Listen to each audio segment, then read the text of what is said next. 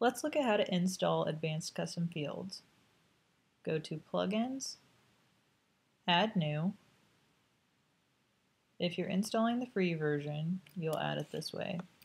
Type in Advanced Custom Fields.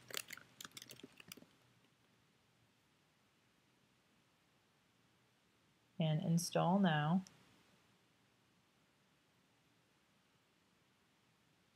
Once that's done installing, activate.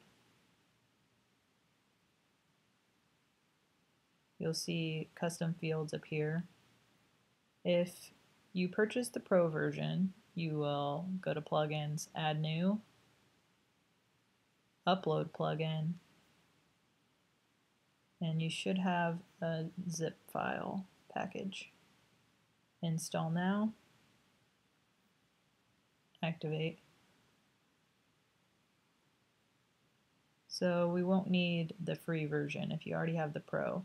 If you did install the Pro version, you'll go to Custom Fields, Updates, and you will enter your license key so you can continue updating the plugin.